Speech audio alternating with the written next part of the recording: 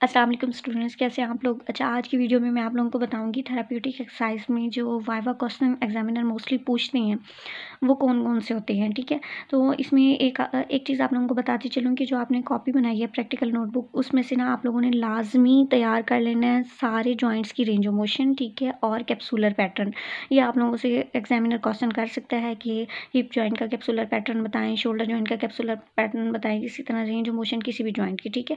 तो ज़्यादातर मोस्टली आपकी कॉपी से ही क्वेश्चन किए जाते हैं। बाकी चैप्टर वाइज मैं बता देती हूँ रेंज ऑफ़ मोशन से आप लोगों ने रेंज ऑफ़ मोशन की इंडिकेशन और कॉन्ट्रा इंडिकेशन लाजमी करनी है, ये हर जॉइंट की करनी है, ठीक है?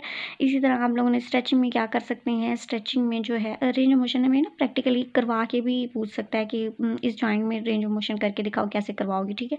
स्ट्रेचिंग में जो है स्ट्रेचिंग की डेफिनेशन उसके बाद कॉन्ट्रेक्चर की डेफिनेशन कॉन्ट्रेक्चर्स के अलावा जो है किसी भी जॉइंट की जो मेन में सॉरी जॉइंट्स नहीं मसल्स जैसे नेक में है ट्रेपीजियस और एससीएम इसकी स्ट्रेचिंग उसके अलावा आपसे पूछ सकता है बाइसेप और ट्राइसेप की स्ट्रेचिंग करवा के पूछ सकता है एग्जामिनर और लोअर लिंग में कौन से क्वाड्रिसेप्स और जो आपके हैमस्ट्रिंग मसल हैं, उनकी स्ट्रेचिंग कैसे परफॉर्म की जाती है? सेल्फ स्ट्रेचिंग भी आनी चाहिए और पैसिव स्ट्रेचिंग भी आनी चाहिए।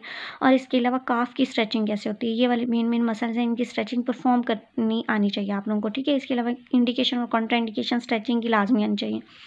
मोबिलाइजेशन में क्या पूछा जा सकता है? मोबिलाइजेशन और मैनिपुलेशन का डिफरेंस मोबिलाइजेशन की डेफिनेशन ग्लाइड और स्लाइड में डिफरेंस उसके अलावा आप लोगों से जो एग्जामिनर पूछ सकता है, वो किसी भी जॉइंट की मोबिलाइजेशन परफॉर्म करके एटलीस्ट आपको जो मेन मेन जॉइंट है ना hip joint shoulder joint elbow joint जो बड़े बड़े जॉइंट्स हैं, इनके आप लोगों को मोबिलाइजेशन पता होना चाहिए। फिर आता है रेजिस्टेंस एक्सरसाइज रेजिस्टेंस एक्सरसाइज में ना जो रेजिस्टेंस में ज़्यादा, इतना ज़्यादा पूछा नहीं जाता। जो रेजिस्टेंस की टाइप्स है ना जो, कौन से आइसोम ट्रिक आइसोटोनिक ठीक है? उसके अलावा आपके पास डायनामिक एक्सरसाइजेज हैं क्लोज चेन ओपन चेन इनकी सिर्फ़ डेफिनेशन आनी चाहिए आपको या फिर अगर वो कहता है परफॉर्म करके दिखाओ तो एक एग्ज़ाम्पल आप लोगों को आनी चाहिए। रेजिस्टेंस में इससे ज़्यादा नहीं पूछा जा सकता, ठीक है?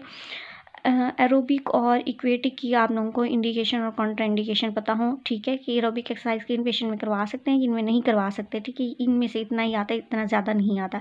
तो ये आप लोगों के लिए बहुत ईजी हो जाएगा, अगर आप इस पैटर्न में तैयार करते हैं और ये ये क्वेश्चन पढ़ते हैं तो आप लोगों के लिए बहुत ईजी हो जाएगा। थैंक यू सो मच दुआओं में याद रखिएगा हाफिज़।